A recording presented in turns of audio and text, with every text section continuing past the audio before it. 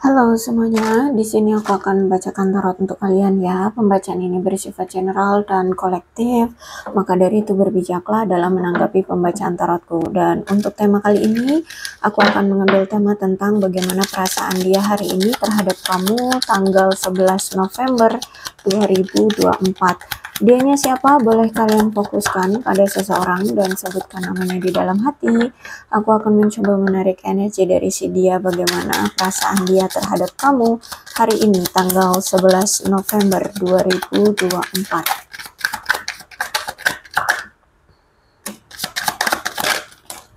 No, no, no, no.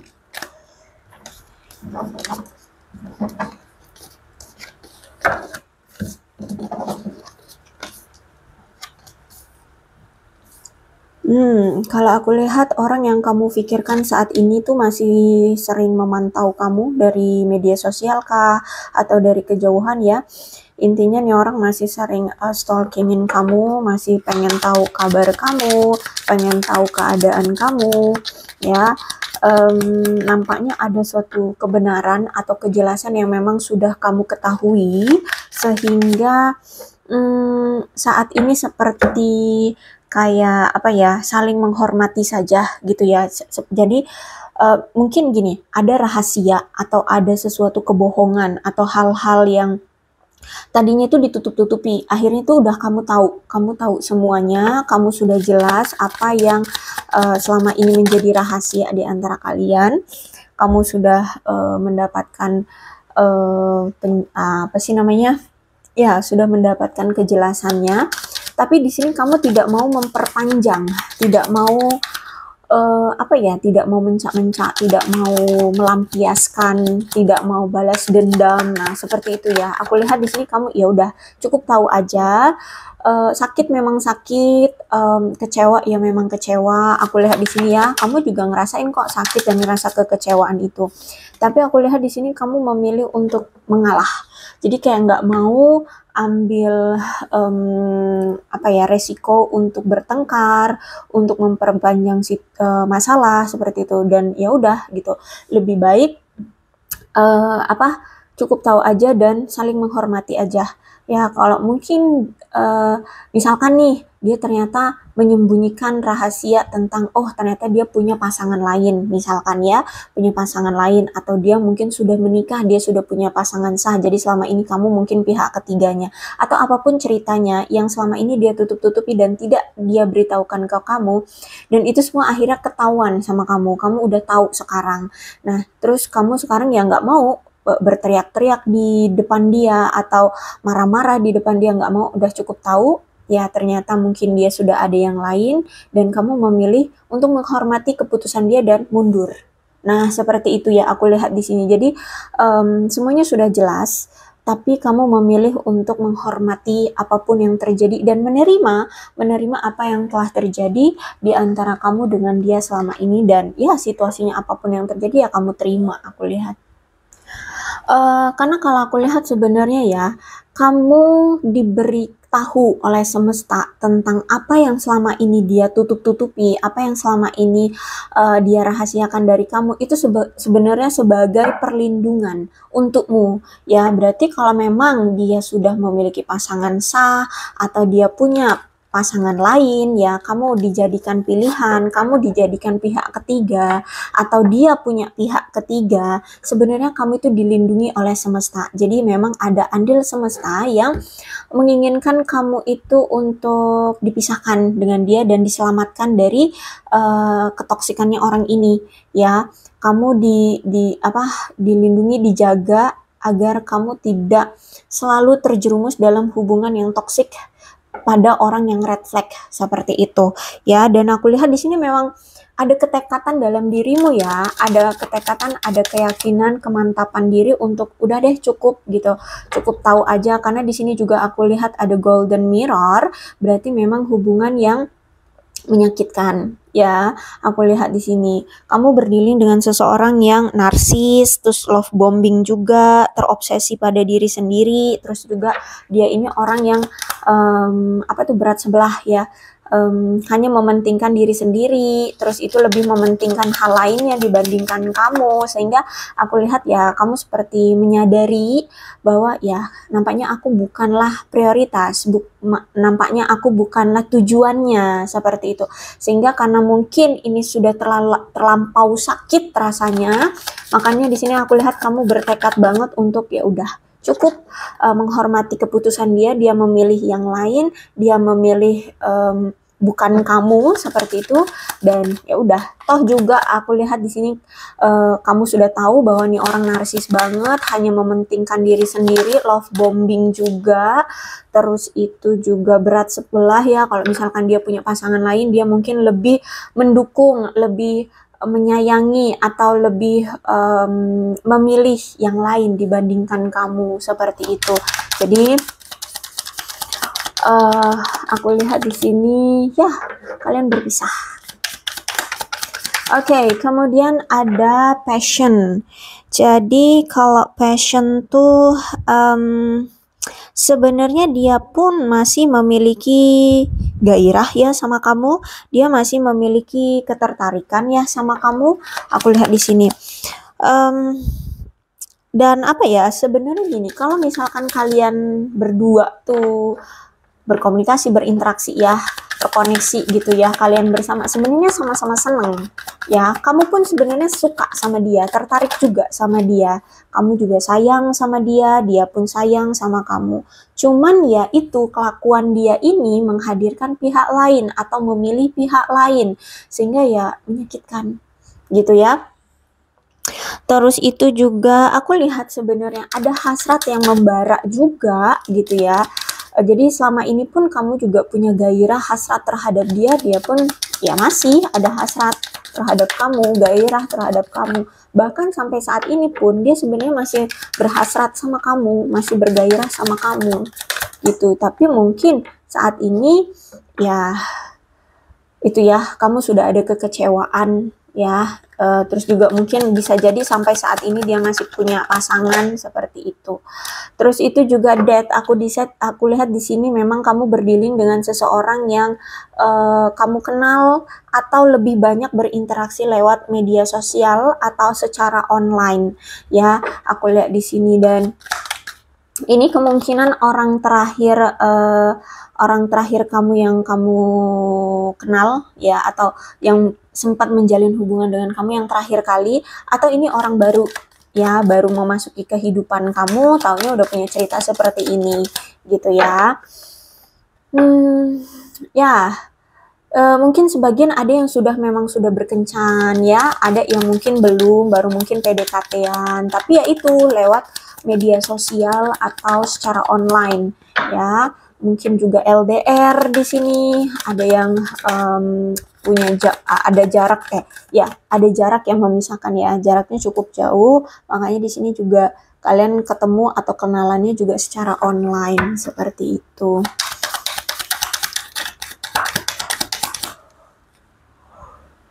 Oke, okay, perasaan dia terhadap kamu, um, dia merasa bahwa saat ini tuh kamu kayak mulai menikmati kesendirianmu atau menikmati dirimu sendiri atau lebih berfokus ke dirimu sendiri ya. Lebih kayak hmm, memprioritaskan diri sendiri, bahagia dengan diri sendiri. Pokoknya semua semua itu kamu self love ya, bisa dibilang self love ya. Saat ini tuh kamu kayak self love.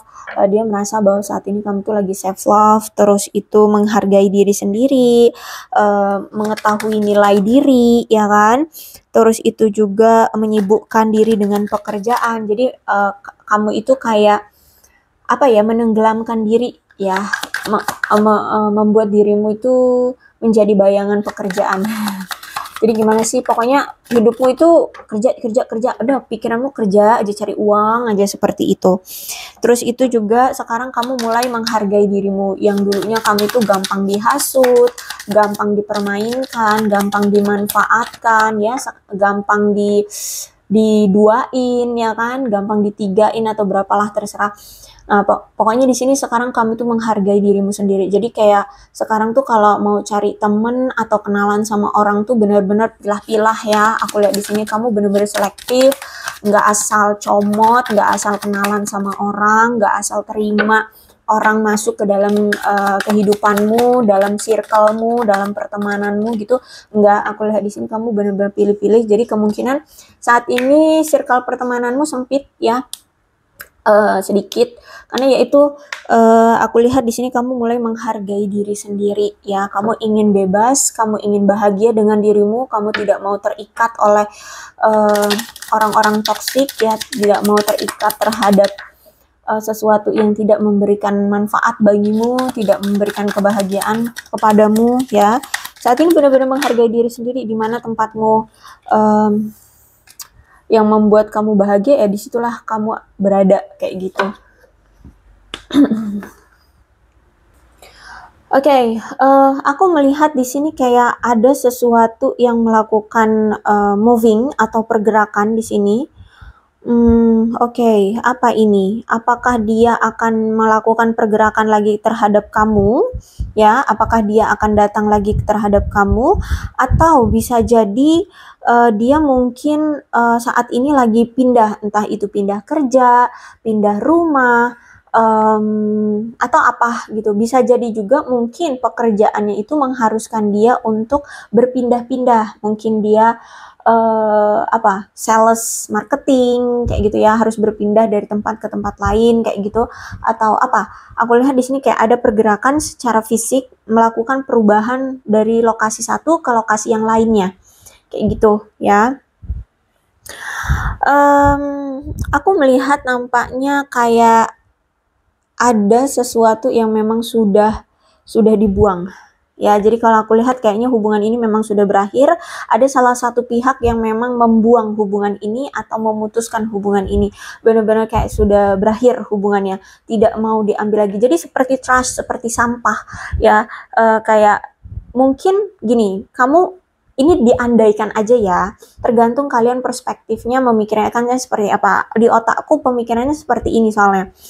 Uh, jadi kayak selama ini kamu menjalin hubungan yang toxic dan kamu menganggap itu sekarang sudah menjadi sampah.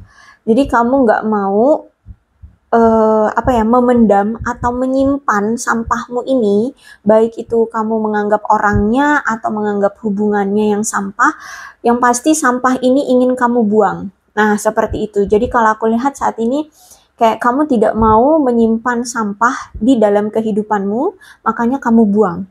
Jadi kalau aku lihat kayaknya kamu yang memang mengakhirilah hubungan ini. Kamulah yang mengakhiri hubungan gitu ya. Kamu yang membuang dia, kamu yang uh, meninggalkan dia, kamu yang memutuskan hubungan seperti itu. Uh, divine feminim ya, lebih banyak kalian uh, energinya feminim ya, entah kalian laki atau perempuan, yang pasti energinya feminim ya. Terus itu uh, Mas ya kuat banget ya. Di sini masih ada yang searching-searching atau mencari-cari secara online ya. Bisa jadi dia uh, dia masih mencari-cari kamu di media sosial tentang kabar kamu tentang info-info kamu tentang apa yang saat ini kamu lakukan. Terus juga misalkan kayak caption-caption apa yang kamu upload gitu ya uh, dari foto-fotomu kegiatanmu apa itu kayak dibaca gitu loh sama dia di, dicari tahu gitu ya. Jadi kalau aku lihat di sini dia uh, saat ini tuh masih sering stalkingin kamu, cari-cari tahu info kamu, kabar kamu, apa yang saat ini terjadi sama kamu, apa yang kamu lakukan, kayak gitu ya, cari-cari info lah pokoknya secara online ya, secara online. Oke, okay, mungkin hubungan kamu dengan dia adalah hubungan yang kotor. Maksudnya kotor ya, misalkan uh, kamu ternyata berdiling dengan seseorang atau kamu ya uh, apa pernah menjalin hubungan dengan dia ini dia ini ternyata sudah punya pasangan sah.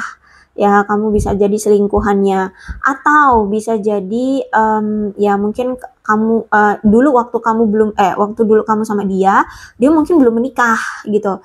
Terus itu ternyata dia ada pasangan lain. Eh ternyata dia memilih pasangan lain dibandingkan kamu. Jadi hubungan ini bisa jadi hubungan yang rahasia atau hubungan kotor ya apa sih hubungan kotor tuh? Yang kayak gitulah ya. Apa sih aku um, bahasa gaulnya aku nggak tahu nggak paham. Tapi yang pasti seperti itu ya. Terus juga hubungan ini penuh rahasia. Banyak yang ditutup-tutupi banyak yang dirahasiakan seperti itu ya. Hmm, hubungan ini menggairahkan tapi itu banyak rahasia uh, atau hubungan yang dirahasiakan. Jadi hubungan ini kayak hubungan terlarang, hubungan yang kotor, hubungan yang tidak ber, tidak beretik eh tidak tidak bermoral. Tidak bermoral bisa nggak sih? Ya pokoknya intinya seperti itulah ya. Intinya hubungan yang nggak um, wajar-wajar aja gitu, nggak wajar ya seperti itu. Oke, okay, aku melihat saat ini dia ngerasa hancur, dia ngerasa sedih, dia merasa sendirian, kesepian tanpa kamu, dia merasa seperti sudah di, uh, di, di ditinggalkan, merasa sudah kehilangan kamu, merasa sudah tidak lagi diharapkan oleh kamu, seperti itu ya. Dan aku lihat di sini dia sedih banget loh. Dia sedih um, karena sekarang kamu udah apa ya kayak bertekad banget gitu bahwa ingin memblokir atau ingin mengakhiri atau ya nggak mau lagi berhubungan dengan dia seperti itu. Ini ini dia lihat kamu tuh udah nekat banget eh nekat bertekad banget.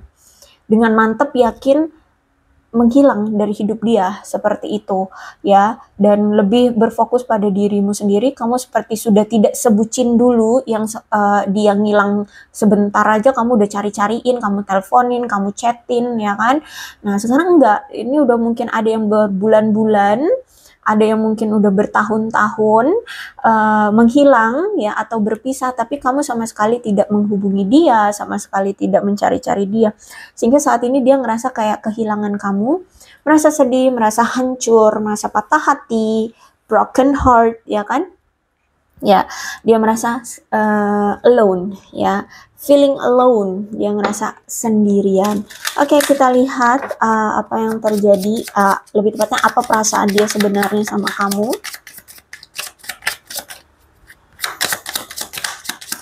Perasaan yang mungkin ya ingin diungkapkan tapi belum diungkapkan. Atau kayak harapan gitu deh ya harapan dia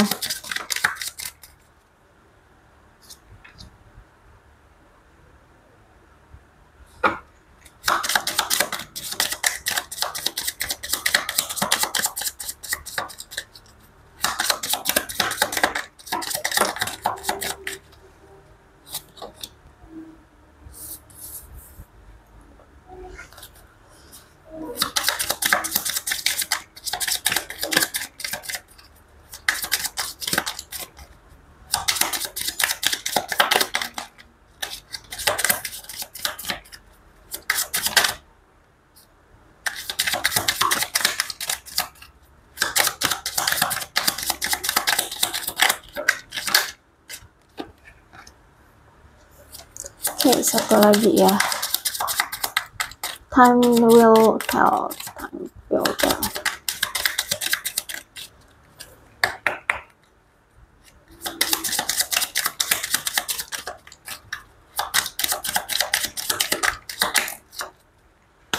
Oke. Terlihat tidak? Oke, terlihat ya. Kartu yang pertama di sini ada time will tell. Oke, okay, jadi ya aku lihat kayak berpasrah sih orang ini saat ini ya. Terutama hari ini dia kayak mem memasrahkan segala sesuatunya. Biarkanlah waktu yang menjawab kata dia. Dia kayak nggak ada effort, nggak ada tindakan apa pun, nggak ada pergerakan apa pun. Uh, mungkin ya mau datang itu ya baru keinginan, tapi belum ada pergerakan seperti itu ya. Jadi uh, dia kayak memasrahkan segala sesuatunya, memasrahkan tentang hubungan kamu dengan dia, memasrahkan keadaan situasi uh, ataupun apa pun yang akan terjadi itu kepada semesta ya, kepada waktu, biarkanlah waktu yang menjawab seperti itu. Jadi kayak ya nunggu, hanya nunggu, nunggu, nunggu gitu. Dan saat ini dia masih uh, dia merasa bertanya-tanya gitu ya, apakah kamu mencintai dia sama seperti apa yang uh, sama seperti dia mencintai kamu. Jadi dia ngerasa bahwa kayak kamu ini masih nggak sih cinta sama aku? Aku masih cinta kamu loh gitu. Tapi kok kamu gini ya? Kok sikap kamu udah berubah? Kok sikap kamu tidak menunjukkan kebucinan seperti dulu lagi gitu? Kamu kok nggak kecari anakku lagi gitu? Jadi dia ngerasa kayak apakah cuman aku doang yang masih cinta sama kamu tapi kamu udah nggak cinta lagi ya tapi gimana sih gitu loh jadi kayak masih ada rasa kayak belum terima tapi faktanya ya memang kamu sudah sedingin itu, kamu sudah secuek itu, kamu sudah seasing itu gitu. Ya, jadi dia bertanya-tanya, apakah kamu mencintai dia seperti dia mencintai kamu? Dan our love is eternal. Ya, jadi dia menganggap bahwa cinta kita abadi, kata dia. Ya, jadi kalau aku lihat sebenarnya ya orang ini masih cinta banget sampai sama kamu sampai sekarang ya. Uh, dia dia masih menganggap bahwa ya kamu itu masih sulit gitu untuk dia lupakan untuk dia move on itu dari kamu tuh masih sulit ya. Dia masih menganggap kamu cintanya dia. Karena menurut dia uh, kamu itu seseorang yang mampu menerangi dunianya. Jadi kemungkinan dulu ya waktu dia masih sama kamu, dia itu sempat ada di suatu situasi yang terjatuh banget gitu ya. Terus ya dia ngerasa kayak putus asa atau dunia dia hancur, uh, kayak dunia dia tuh gelap gitu ya. Nah, terus eh ada kamu ya, ada kamu yang mungkin support dia, membantu dia, ya seperti cahaya di dalam kegelapan gitu ya. Jadi dia ngerasa kayak kamu itu penerang dalam hidup dia, kamu memberikan dia kenyamanan, kamu menerima dia uh, apa adanya, kamu selalu dukung dia, kamu selalu ada untuk dia, selalu ada di sisi dia, seperti itu, selalu mengerti dia. Sehingga dia menganggap bahwa kamu adalah cahaya di dalam hidupnya, gitu ya. Atau mungkin dia pernah dalam situasi patah hati eh kamu mampu menghibur dia kamu mampu memberikan kenyamanan mampu memberikan pelukan nah seperti itu. Oke, okay, kemudian will you help me? Ya, kalau aku lihat saat ini kayaknya dia juga uh, lagi kesulitan ya, entah apa kesulitannya, tapi aku lihat di sini kayak dia lagi kesulitan. Karena di sini dia uh, berharap kamu mau membantu dia, ya dia berharap uh, kamu mau ngebantu dia. Entah ini tentang suatu perasaan, situasi, uh, pemahaman untuk meminta pemahaman dari kamu, atau bisa juga dari keuangan, karir, ya bisa juga ya. Tapi aku lihat di sini kayaknya dia lagi kesulitan sehingga kayak dia bertanya-tanya mau nggak ya kamu ngebantuin aku gitu. Ya, kalau aku lihat perasaannya of course dia masih mencintai kamu. I love you to the moon and back a million times. Ya, jadi kata dia ini agak lebay ya kata-katanya tapi ya intinya uh, dia mencintai kamu sepenuh hati. Ya, dan akan terus uh, kembali padamu walaupun berjuta-juta kali. Ya, walaupun kata-katanya lebay tapi intinya ya udah deh dia cinta lah sama kamu gitu sampai hari ini sampai detik ini. Gitu ya. Oke, okay, aku rasa cukup untuk pembacaan kali ini. Mudah-mudahan resonate. Kalau belum resonate ya udah nggak usah dipaksakan. Dan untuk zodiaknya ya, kita lihat untuk zodiak yang terbacakan dalam pembacaan ini.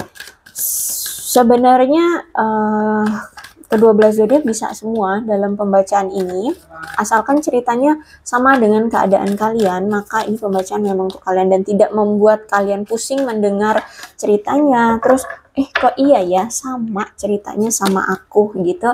It's okay, ini pembacaan kalian. Ada Cancer, Cancer, eh Cancer, Taurus dan Pisces. Terus, oh the full Aquarius, Libra, dan Gemini, Capricorn, Taurus, dan Virgo, Cancer, Scorpio, oh sorry, Cancer, Scorpio, dan Pisces, Cancer, Scorpio, dan Pisces, Aquarius, Libra, dan Gemini, Capricorn, Taurus, dan Virgo, Leo, Aries, Sagittarius, Capricorn, Taurus, dan Virgo lagi, itu ya. Uh, angkanya, angka ini bisa berhubungan dengan apa pun yang uh, di antara kamu dengan dia, ya silahkan disituasikan saja.